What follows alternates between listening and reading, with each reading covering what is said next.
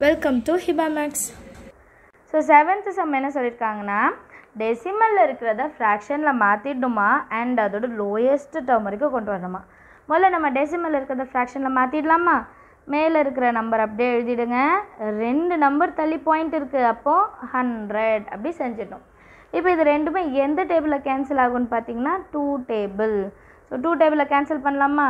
Two hundred and thirty four divided by two two one Jha two balance three again two one jar two தான். ஏன்னா three தான் இருக்குது one four two seven jar fourteen so answer zero வந்துச்சு. அப்போ இங்கே என்ன வரும்? One one seven by two டேபிளில் ஹண்ட்ரட் வந்து டிவைட் ஆனால் என்ன கிடைக்கும்? ஃபிஃப்டி அதை அப்படியே நம்ம எழுதிடணும்.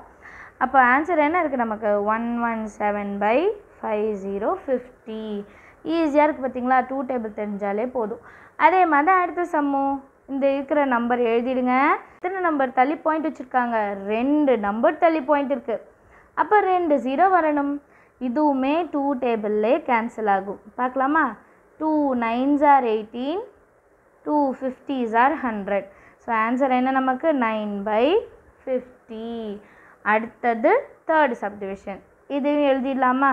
Three hundred and fifty six ரெண்டு நம்பர் தள்ளிப்புள்ளி இருக்குது அப்போது ஹண்ட்ரட் இதுவுமே என்ன பண்ணலாம்? டூ டேபிளாலே டிவைட் பண்ணிடலாம்.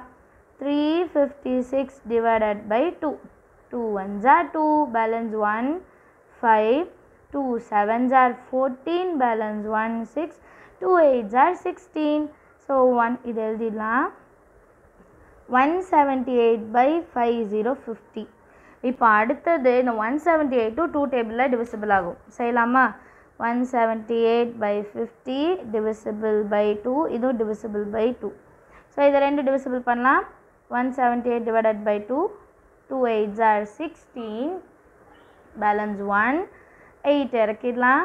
Two nines are eighteen zero so eighty nine by two டேபிளில் ஃபிஃப்டி எப்போ வரும் தெரியுமா? டுவெண்ட்டி ஃபைவ் டைம்ஸ் ஸோ இது வரைக்கும் நீங்கள் கண்டிப்பாக கொண்டு வந்திருக்கணும். ஏன்னா லோயஸ்ட் ஃபார்ம்னு கேட்டிருக்காங்க இல்லையா?